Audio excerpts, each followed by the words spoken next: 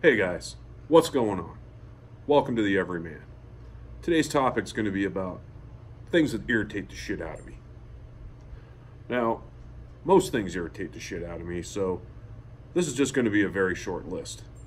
So let's get to it. People who drive slow in the left hand lane. This just bugs the shit out of me.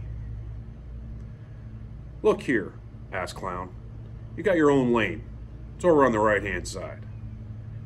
I understand that you subscribe to safety first, but the rest of us are operating under safety third.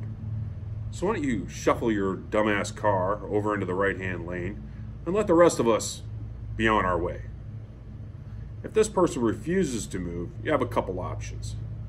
You can tailgate them aggressively, or when available, pass them on the right. But as you're passing, you need to look in their window and give them the death off stare. The next one's drive-throughs.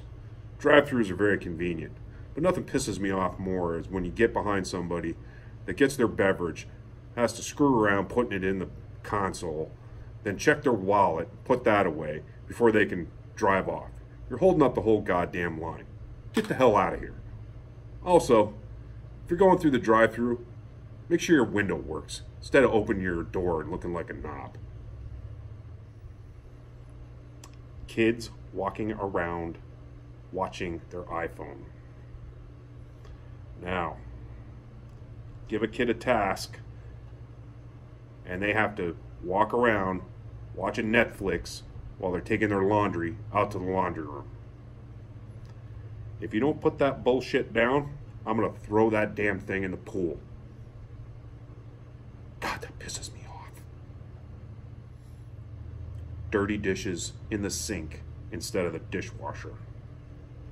Now, these kids, they'll use a knife, fork, plate, whatever. Instead of putting it in the dishwasher, they'll just throw it in the sink.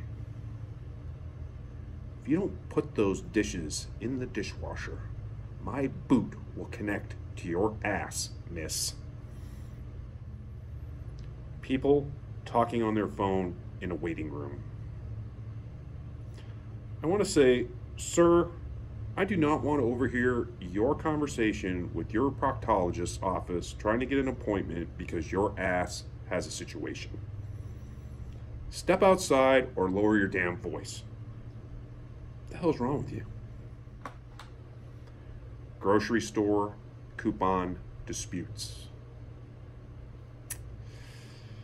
The line is long, and you got somebody arguing with the cashier over a 50 cent coupon. Look, I'll give you a dollar if you just off. Because myself and the rest of society will be truly grateful.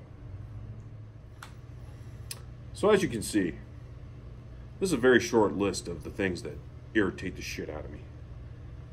Most things irritate the shit out of me. But I do believe that these complaints that I have are legitimate and well founded. So remember, don't be an ass clown. Just do what you got to do. If you can't do that, then just off. Until next time, guys.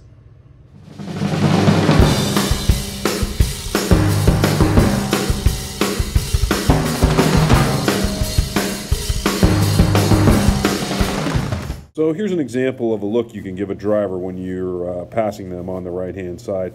But don't forget, you've got to add a lot of cursing to go along with that. So uh, good luck to you.